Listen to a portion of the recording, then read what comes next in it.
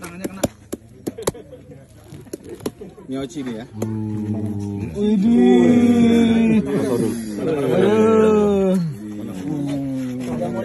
Ya, Oci memang Oci. Aduh. Ini satu lagi. Wih, tukar satu lagi. Siapa yang mau gagangnya? Konsennya ke sini aja. ya, ibu-ibu konsennya ke sini aja ya. Nah, tapi berhentinya di sini. Ini dibagi dua sih, dibagi dua. Mas, bantu Mas. Iya, iya. Oke. Saya udah mengajar di sini. Oh, aduh. Oke. Itu memang rezekinya